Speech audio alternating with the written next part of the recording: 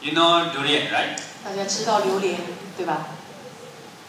How many of you don't know durian? 有多少人不知道榴莲为何？ Nobody. 呃没有人不知道榴莲。 Okay. So can you remember durian now? 现在能不能想到榴莲，记得起榴莲呢？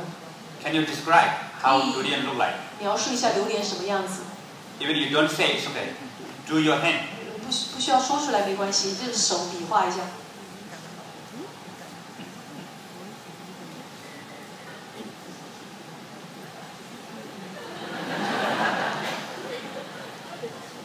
Ah, something like that, right? 呃就像那样子，是不是？Clear?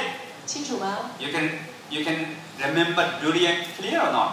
能不能清晰的想得起榴莲呢？Clear, raise your hand. 觉得清楚的想得起来，举手。Okay, very good. 好，很好。